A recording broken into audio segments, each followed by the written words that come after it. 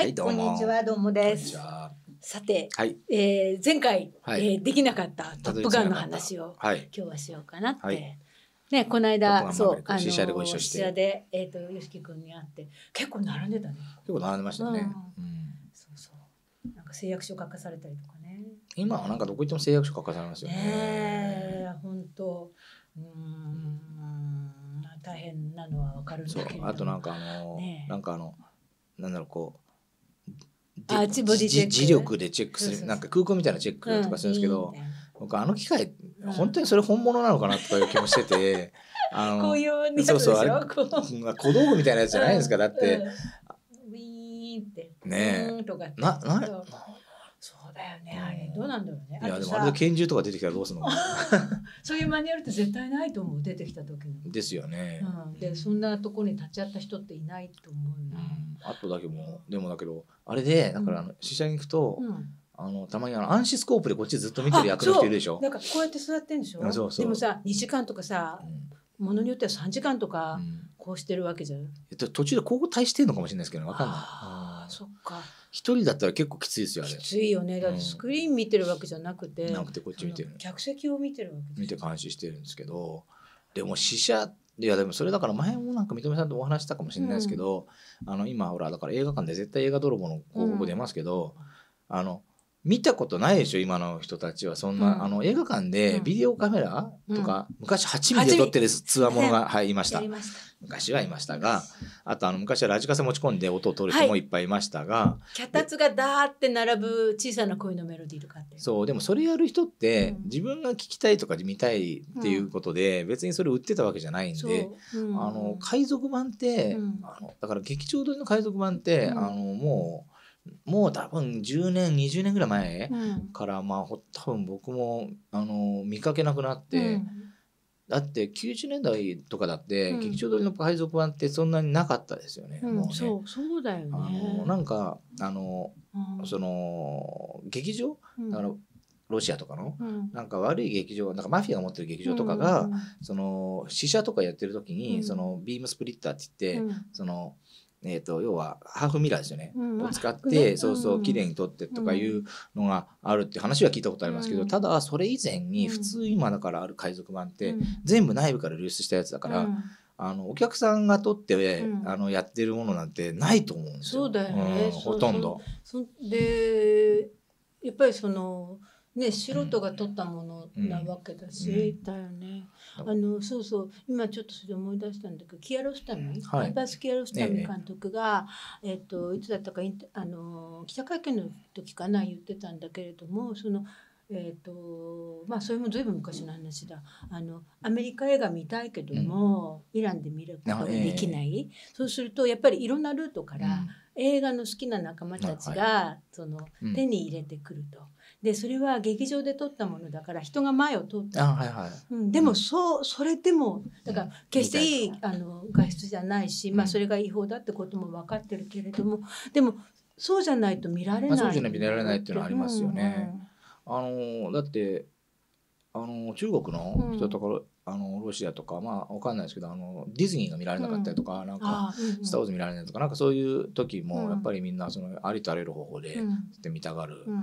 ていうことあるしそれからなんだろう例えばそのえっ、とあれはえっ、とミャンマうん。ーのだからカレン族うん。とかもだってあの海賊版でみんなで「ランボー4」見て頑張ったりうんとかね、だからその、まあいろんなシチュエーションがあると思うんですけど、まあだただもちろんもちろんそのなんていうのその儲ける目的で、うん。その海賊版とか売ったり買ったりはうん。いけないに決まってるんですけども、うん。まあでもそのそれだけでもないことがあるっていうのと、あとやっぱ僕劇場行ってあれ本当にそんなに毎回見せられる必要があるのかっていうかそうなんかもうさ映画泥棒前提で見せられてるじゃん。そうなんですよ。でなんか、なんかその今ここの客席にいる人は潜在的に映画泥棒なんですよって言われてる気になるんですね。そう。そうそうそう。なんかすごく嫌な気持ちにすごまあそうだから画面も見ないようにしてますけど、あの時は。あのでも映画泥棒の、あのー CM があれこの話前したっけ、すいません、あのー今はちょっと音変えてますけど、映画泥棒の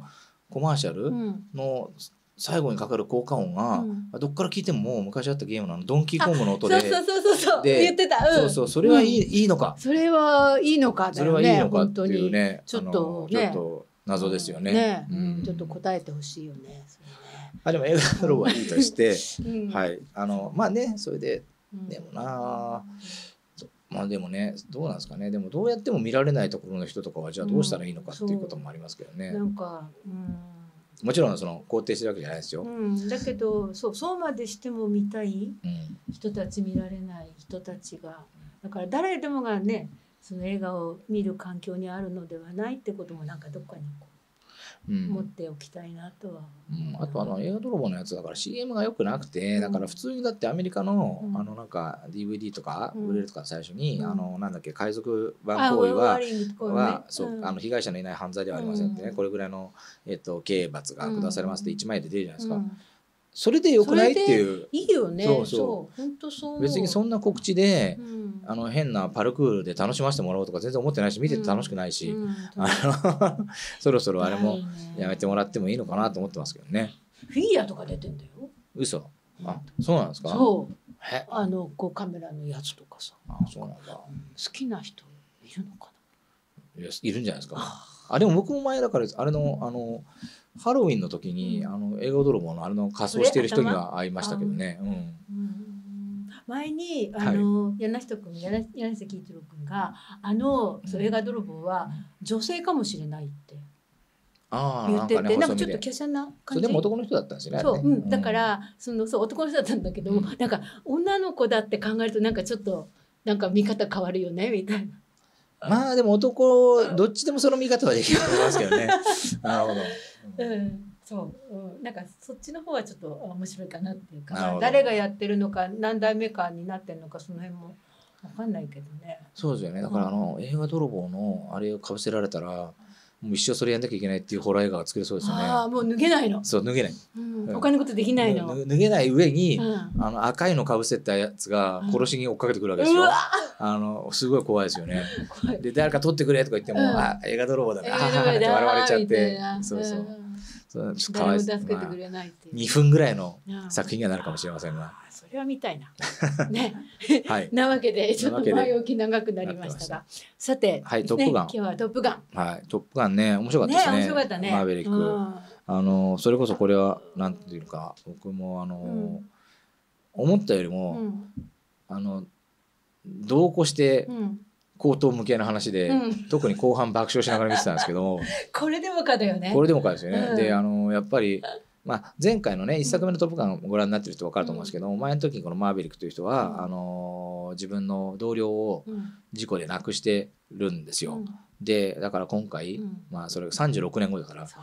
36年後の今回のミッションではうん誰も殺させないうん全員生きて帰るんだっていうことのために、うんあの全ての理屈を金繰り捨てて あの映画が進行していくっていうあめちゃくちゃ楽しみましいたよね。やーもううん本当にだからさスター映画の王道っていうか、トム映画というジャンルだよねこれはね。いやそうなんですけどでそれとあとまともいくらなんでも、うんいくらなんでもろ還暦だですからね。同世代なんですよ私。あそうそうか。だからもう本当にいやーもうここまで頑張んなくてもいいよってくらい。あと、うん。でもやっぱ59とかで、うん。その最前線にエースパイロットで行く人がいるのかどうかっていう まああの結構ねパイロットで最初もテストパイロットですけど、うん。結構そ本当かなみたいな、まあ、本当じゃないからいいんですけど あのそういうところも面白い。ね。そうなんですよ。うん。でちょっと途中にラブコメ的な展開とかもあったりして、いやそれをうんやっぱり還暦のおじいさんがそう還暦のおじいちゃんだよね。おじいさんがやっぱあのなんだろうあの慌てて服着て2階の窓から逃げるみたいなことをやるん。だからちょっと我が目を疑うシーンの連続で。いやーもう本当にもうね、うん。でもね見てねザ映画だと思ったの。ザ映画ですよね。そう、うん。らすごい「スター・ウォーズ」みたいだし。そう、うん。だから今までそうあのなんだろうそうあのしここしばらくもう見てなかった。うん。ザ映画。ザ映画、うん。まあここれが映画だよっていう。あの難しそうなミッションがあって、うん。みんなで頑張るっていうね。そうみんなで頑張ると。すごい単純なストーリーなんだよね。あのそうですね。5分の4ぐらいまではすごい単純なんですよ。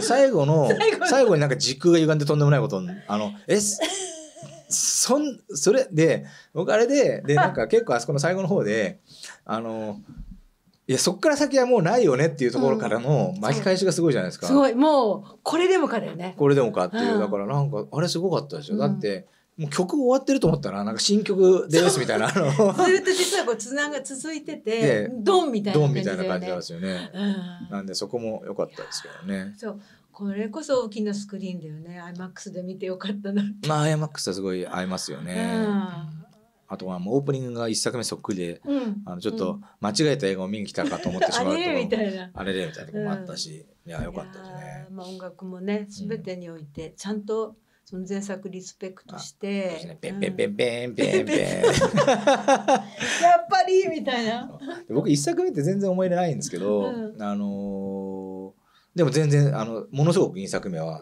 楽しみました、で1作目もねこれ見てからうん。改めて見直したら、うん。まあよくできてるっていうか、うん。まあ楽しめる面白い映画だなとはうん。思うんですけどね、うん。あのーただ当時はこれ86年でしょ、もうねあのー SFX 映画とかホラーとか、うん。あのまあ本当ねあの白の駅からザ・フライからスペースインベーダーからあーそなうんかもうそういうのがごちょごちょごちょごちょ来てる時期で、うんうんうんあのあんまり「トップガン」に割く余力が僕はなかったんですよ。であのーでただ「トップガン」とかねこの頃は本当にトム・クルーズが、うん。そのなんだろうこうファッションとかうん。もうファッションとか流行りを牽引しててうん。だからこれ流行った時だってだからみんなだからあのタレさん買ってそうそうそうそう。MA1 ジャケット買って、ねでっていうのをだから今度その後ハスラー2が来たら、うん。あの雀荘がみんなプールバーに変身して でそういう時代じゃないですか。そうそう。雀荘次々とプールバーになりましたよね。おしゃれな。おしゃれな、っうん。ていう時代ですよ。うんだからその頃ちょうどだからそのぐらいがところがだから日本がめちゃくちゃ景気良くて、うん。そろそろスパゲッティっていうのはかっこ悪いからパスタって言いましょうみたいな、ね言いそう換えてでカフェバーができて、っっていう頃の、うん。まあノリと合ってたんでしょうね。ああそうだもうそれこそそれもザ80年代だね。ザ80年ですよね。だからそれが何年前かってことを考えるといやでもね36年後の続編ってすっごい珍しいんですよ。うんうん。あのね多分それより長いのが、うんあのまあそっちはビデオスルーですけど、これ調べたんですよ。うん。バンビ2ってあるでしょ。バンビツバンビ2ってあるんですよ。うん。ビデオビデオストレートなんですけど、でバンビ2が、うん。確かね37年間を空けた続編でそれに次いで間が一番空いている続編が「トップガンマーヴェリック。ってことらしいです。なすごいですよね。まあ。36年後演じてんだよだって。そうなんですよ。でバンビは別にアニメだから。バンビは何百年後だって作れますよそれはね。これ生身の人間だ生身の人間で同じ人が36年後に続編はあのかなりすごい。だって20年とかだって、うん。えそんな相手続編やるのっていう感じしますけど、36年後すごいですよね、うん、ちょっと驚きの作品です。いやー驚できですよ本当に動いてるしね。動いてますねでトム・クルーズがごねたせいであの役者の人たちがみんな戦闘機に乗る羽目になって実際に。だからメイキングの映像ありますけどあの本当本当にだからあれみんなあんま演技してなくて「うーん」とかなってんの。本当なんですよね。もうもうこんなになっちゃってってるわけ血かかってだよねこんなになっちゃっててあのでなんかトム・クルーズがみんなよく耐えて頑張ってくれたよとか言って、うん。こんなことは本当はできないはずなんだって別にやんなくてもいいはずなんですけどしかしそこにねうん。あのなんかまあでもその本物感みたいなのは、うん。わかんないな。でも今ねあれぐらいうまくできる可能性もありますけども、うん。でもそれでやっただけのなんかね迫力っていうのはうん。あったように思いますね。うん。ななんでかっていうと僕は基本的にその映画でうん。あの本当にやったから偉いイズムみたいなものにはあんまり組みしないうん。立場で、うん。だって2001の宇宙の旅だって宇宙で撮ってないでしょっていう、うん。とか「スター・ウォーズ」だって宇宙で撮ってないしって思うでしょ、うん。だってあのーでそのなんだろうなもちろんそのスタントマンとかのすごい技とかそういうのには感動しますけど例えばだからその八甲田山をね本当に雪山行って撮んなくてもいいだろうっていう立場なんです僕は。うんうんうんとかあの復活の日だって本当に南極行かなくていいじゃんっていうね。そのリアリズム何それそれそうじゃなくても嘘を信じさせてくれるのが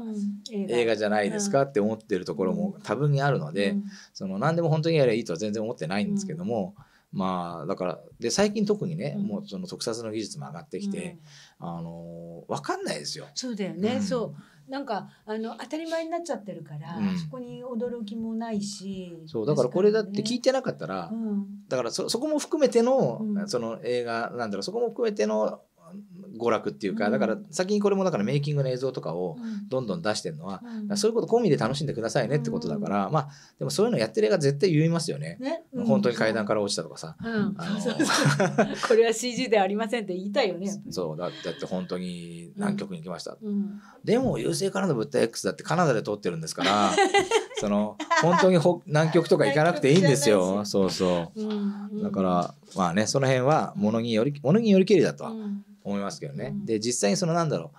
例えばその本当の本当の山山で撮ったらまあそれは本当のところで撮ったら本物に見えるだろうとはうん。思うんですけど、うん。そこまでやんなくだってなんのだってって思うんですよね。